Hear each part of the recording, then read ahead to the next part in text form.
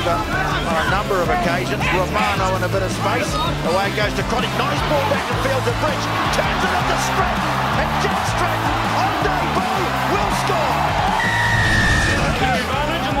Showing a penalty advantage for the Rebels coming into that ball from the side and then shot forward from Whittaker from Creole. Hamilton again. Out to the left. Here's. Rolls it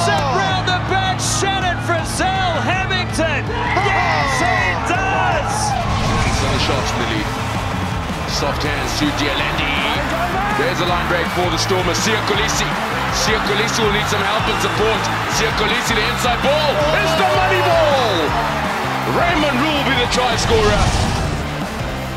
Dab over the top from under. Gather from Mapimpi. Makazole. Mapimpi. The inside ball. Lukhanyo. Um.